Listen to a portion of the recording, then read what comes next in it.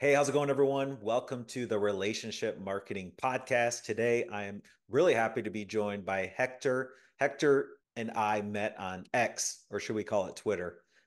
Hector, share with my audience exactly how you're helping people right now, and then we'll get di- we'll dive into the podcast.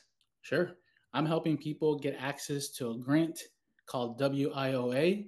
No one's heard about it. It's a kept secret, and I'm here to blow the whistle on it. I'm excited to hear about it. It's something that I'm, grants are like almost secretive. People don't know much about grants, but they're so powerful for things. So Hector's the owner of National Trade Institute. Also, you know what you're promoting now is the Trade School Secrets. And the reason I wanted to interview you, Hector, is because you're really trying to help people. Like, yeah, you have a business, but then you're starting. You have the second thing where you're actually like, I'm trying to give back. I'm trying to help people. So, who's Hector and how did this all start? Oh, man, Brad, I appreciate it. You're one of the first people that engage with me on X. I'm not on social media until now. I'm a rookie on X. I say that all the time.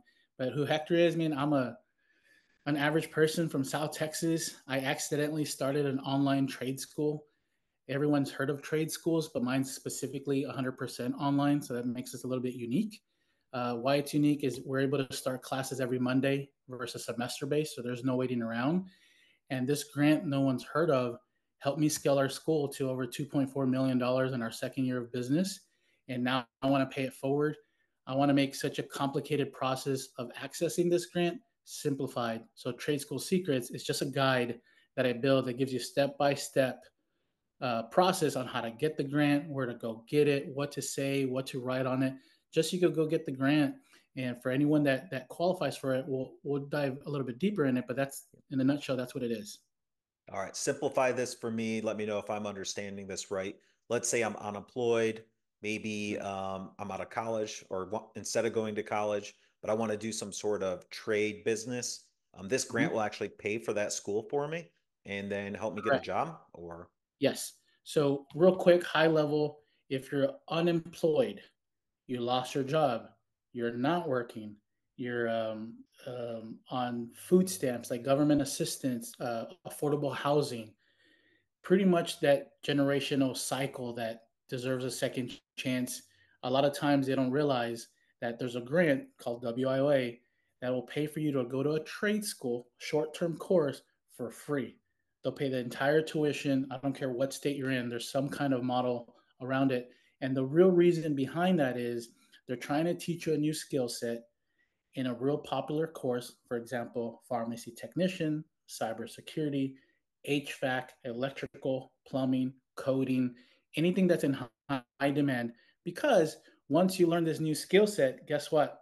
You're going to start paying taxes and taxes for a long time. So the government's going to get it back. They're just making an investment in you early on with a grant. And before we go any further, you know, a lot of my audience are business owners and mm-hmm. entrepreneurs as well. So something that stuck out to me on our pre-interview uh, talk was speaking about, hey, this may even pay for the first three yep. months salary if you were to hire someone that came from this. Can you touch on that real quick? And then we'll dive in deeper later.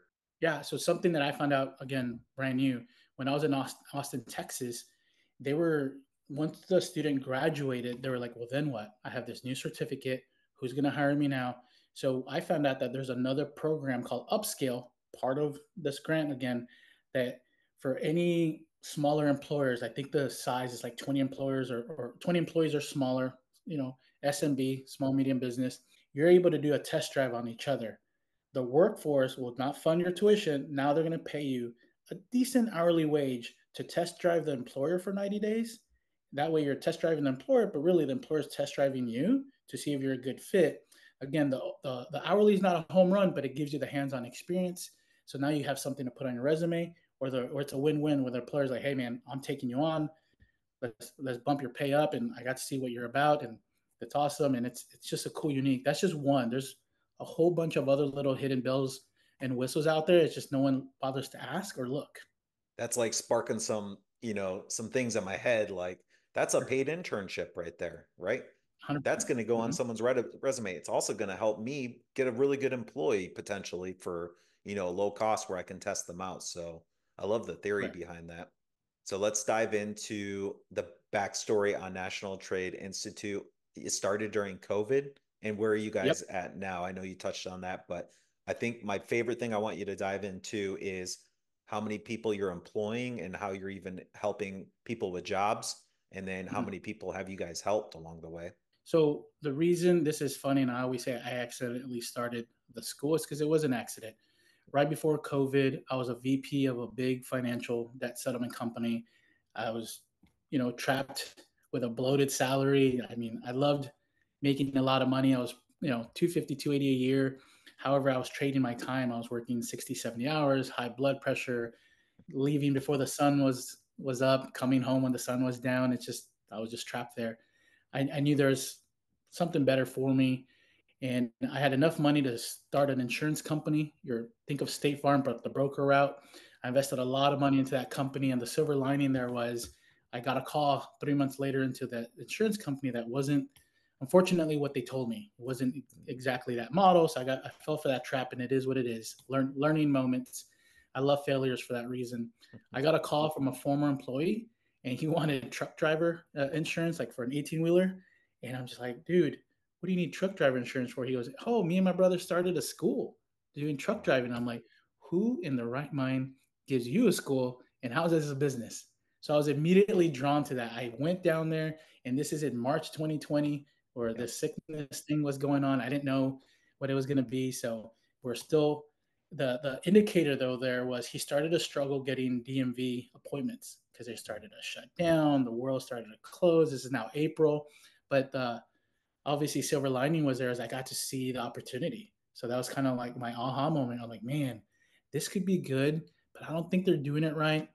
Now that we're all going to be home, just like courses that that people here sell and exist. I mean, once you do an online course, it has to be more profitable. So I went down that rabbit hole. I went.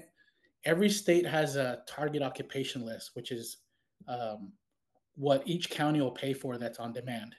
So once I found out what, he told me, the second part that, he told me his brother got a grant to become a CDL driver, and then he did it. I was like, what grant?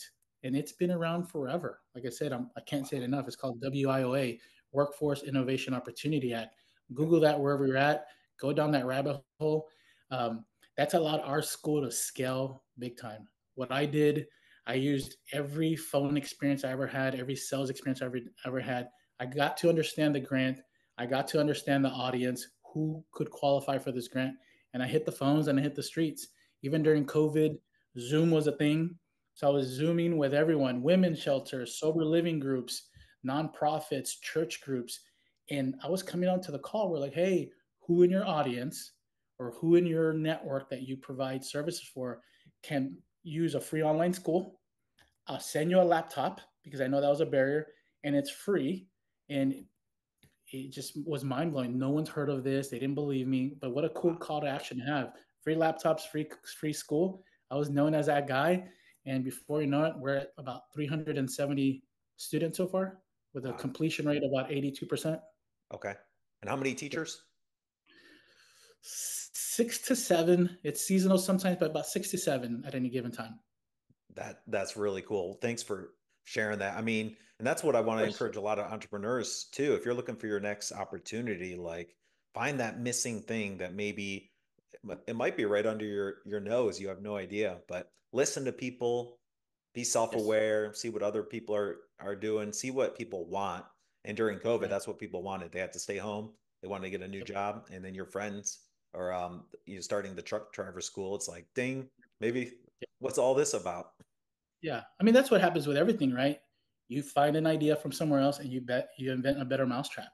Yeah. You I was able to, I mean, your your name's AutomationLinks. I was able to find CRMs to automate a lot of a lot of the process that kept the team lean, and we're able to do what big schools do, but on a on the masses and with just a lean team with because of automation. That that's so cool, man. Congrats on your on your growth. And now tell me about if I'm, let's say I'm unemployed, I want to get into the trade program. I want to learn more about the grant. How does it work? Do I reach out to you? Do I reach out to your website? How long are, is my course? Or do I get to choose what courses I want? Yeah, that, those are all good questions. I could tell you how we do things, and then maybe that'll resonate with whoever's watching. Yeah. Um, every trade school at our size, until you hit the five year mark, you're not going to get accredited to go across state borders. You'll notice that easily we're a .com, so it's National Trade Institute.com.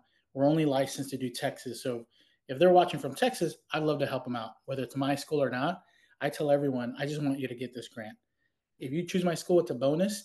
We only have so many courses. If you want to be a paralegal, I can't help you. If you want to do police officer, pharmacy technician, or surgical tech, by all means, I'll, I'll point you in the right direction. But if you do want to do HVAC, electrical, and plumbing or construction, I could help you. You're in my wheelhouse. Believe it or not, all those that I just mentioned, the hands on is not important. 90% of it is curriculum. No one's going to watch you go up an, a ladder and change a filter or cl- unclog a drain. You still got to take that test on a computer. So that's that's what uh, people don't understand that that has to happen. And um, with that being said, um, when it comes to all that, reach out to me. If you're in another state, I tell everyone start with this Google WIOA near me. And that way it's going to come up your, your the office you need to go to. Um, you could go to my guide, which we'll leave a, a link below, and it's a step-by-step guide to any state. It's going to show you how to get the grant, how to call in, and what to say when you get the grant. Because if you call these government agencies, they're like, yeah, sometimes they don't even know. They have people they're they're they're they employ so many people they don't pay well the it's a revolving door and they make it so complicated. Something so simple it's so complicated but I, I could help in those ways if that answers that. That's that's awesome. All right so i, I want to join you're going to give me that free guide we'll link that down below.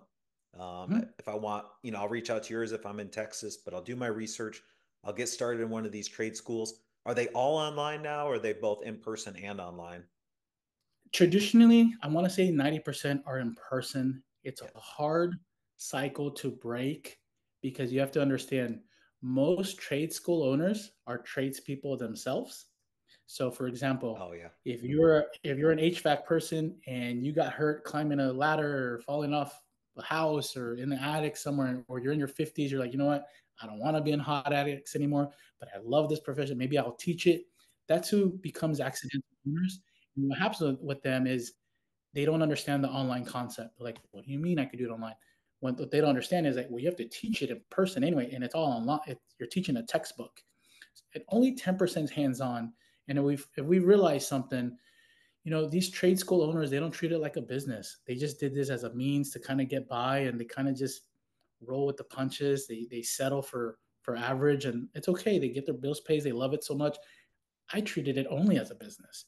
I mean, this is the first time I'm blessed to be put in a position where the more people I help, the more money we make. I mean, the, literally, the yeah. more I share about this grant, it just gets better and better. So, could you help so, the trade school owner? Of course, yeah. I help two now, un- accidentally, unprofessionally. Like I help certain nice. out. I've been I've been getting reached at because you know I have things. i am I'm three years into it now. I've seen what works. I've made all the mistakes. I have a 62 percent response rate on a text message. No one could figure that out. And it's so mm-hmm. simple. I, I know what CRMs to use. I know where to find leads. I've spent zero dollars on leads in three years because I just made partnerships. Well, I, have, I have no need to spend money. I appreciate those that spend money. I just I have too many leads right now as it is, and there's just not enough schools. Even if I help 20 people in each state with their schools, still not enough. The the the bridge gap is so huge between people trying to apply for these jobs than the people that have them. Like I said, the average trades tradesperson is 52 years old. Like yeah. here in five or 10 years, we're in trouble if they don't get replaced. That that's great. I if you want to be an entrepreneur, I almost think you get in Hector's position and learn from him. Like start doing a trade school online. Like holy cow, in your state. Like that's incredible opportunity. From your house. That is awesome. So you got Texas covered. I don't know. I maybe you should branch out to every state, Hector. I, I don't even think I have Texas covered because you got to understand. Um, if you Google trade schools, I mean, what what makes us different is that every trade school is semester based. Every trade school is only night schools because people still have to have jobs, and they kick the same course they're offering. Let's just say it's 100 hours for HVAC. They take six to nine months because they could only do it during a certain window. The instructor is probably the owner he could only he only has this much of bandwidth. I give it to you all 100% online. You can do it at your own pace. I'll I'll send you VR goggles. You're you know doing it that way because the only difference between my student and the trade and the in-person student is is they get to go in person and take a long time with us it's all online and if you think about it once you get that certificate you both have to take the same test it's on a computer we deliver the curriculum i feel a lot better because it's curriculum heavy then when you get on that job site no one's going to give you the keys to the truck you're still going to have to shadow somebody for six to 12 months before and sure.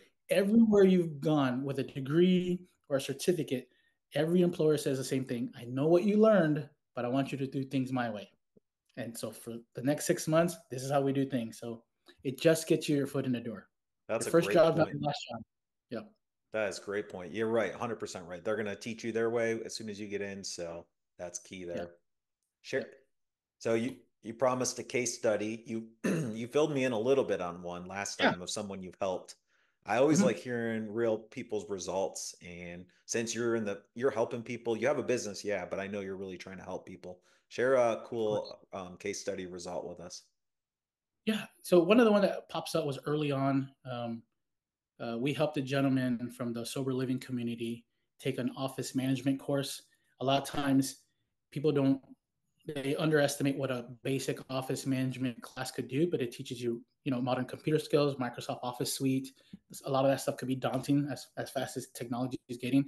He had been stuck, like most of our audience, in fast food, warehouse, fast food, like just that vicious cycle in fast food industry, assistant general manager at this restaurant, that restaurant. And, you know, it was a, a tough, if you look at his resume, it's, it's real job hoppy, right? So when he came to us, he was recently laid off because he moved a restaurant.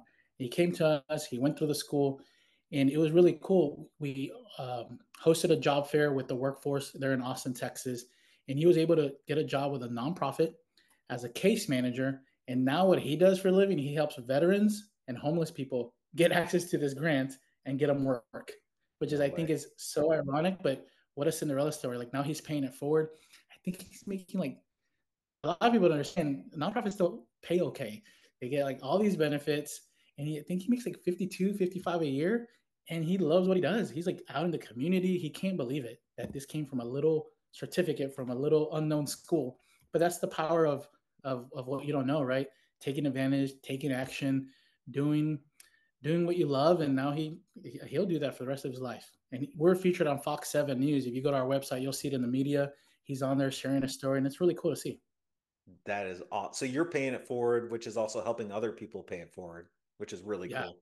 So cool. Not enough. Like there's a long way to go. I said I have a goal starting now, being on X, meeting people like you, all these connections. I want to help a thousand people get this access to this grant. We're at five so far. I got a long way to go. Yep. So and we we keep referring to X, but it's Twitter if no one's on there yet. Yep. Yeah, um, it's yeah, pretty, yeah. I really enjoy it because it's a lot of business professionals, and it's kind of like a, a different type of LinkedIn, a more personal LinkedIn. I had no idea. If I knew how positive, how how how meaningful these connections were, I would have joined a while back. I didn't know. Like I, I only know what I know, and it's it's what others tell me. And I wasn't around like-minded people that were using Twitter for business Twitter, as they call it. I had no idea, man. So I'm I'm new to it. I've been here seven weeks. You were one of the first people that engage with me, and I appreciate it. And it's been fun. What have you found that that works? Is it you know because what I see is you and for your business, you talked about you're not trying to get leads. You're trying to make partnerships Hmm. I think that's how that's what's working best for me on X slash Twitter. Seems like that's probably what's working best for you as well. Is that what you would recommend other business owners and entrepreneurs also when they go thinking of a, a platform or building their business? I think, I mean, obviously, yes. The, the traditional marketing isn't always the best fit for everyone.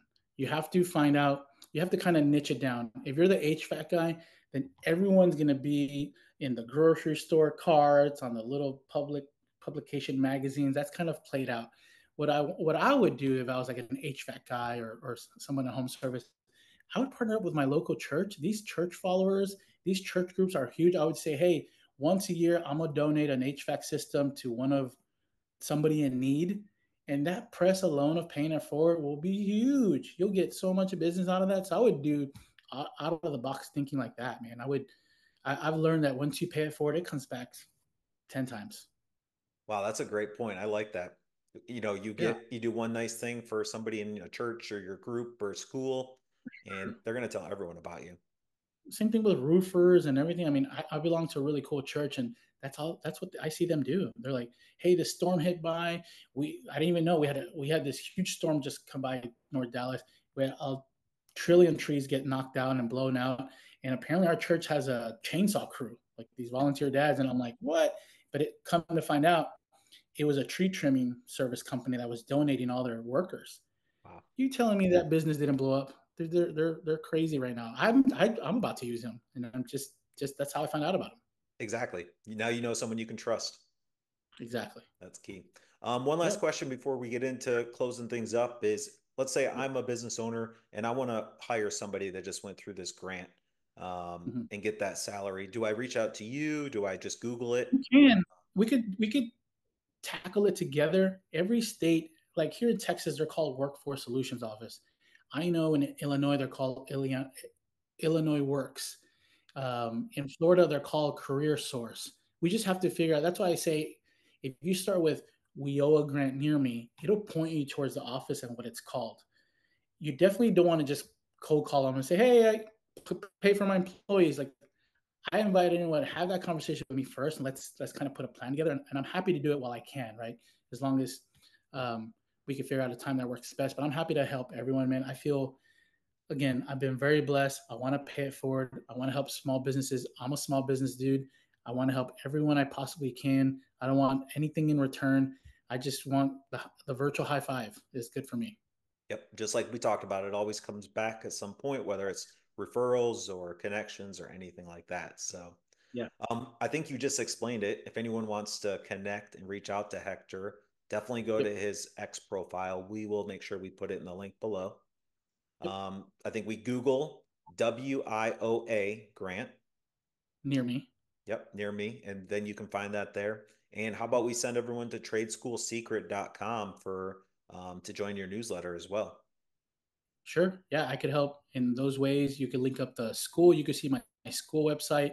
Um, nothing impressive about it. It's just tells you how I could get away with an online school. I mean, it's just we start we are birthed during covid and we stayed online because it's just more profitable. It makes more sense. It's unique. We start classes every week and why not? You know i, can't compete with the big boys out there so i just need to stay in my lane and, and do what i could do best.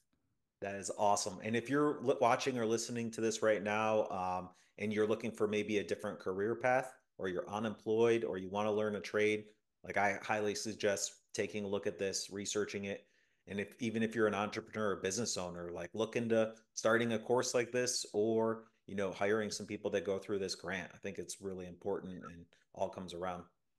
So for sure. That's that's kind of cool. I mean not not not that we're going kind of off topic here but like think about it. If you're an hvac company and you want to kind of just do the school on the side you have employees forever paying for by the grant. I mean, that's kind of a cool little hack that we just came up with. I know it's awesome. I'm like, what the heck? I might even start this. Like, yeah, holy cow, it is awesome. Well, I appreciate you being on the show, Hector, and thank you, thank you for mm-hmm. sharing your knowledge and, and wisdom and everything you learned with our audience as well. Thanks for having me, Brad. This is awesome. Thank you, everyone, for watching. Remember, we're on YouTube and all your po- favorite podcasts, Spotify, um, you know, Apple Podcast, and whatever the Android podcasts are. I don't even know. but uh, thanks for joining in, and uh, make sure you go follow Hector and give him some love for being on the show. Thanks again, and we'll see you guys on the next show.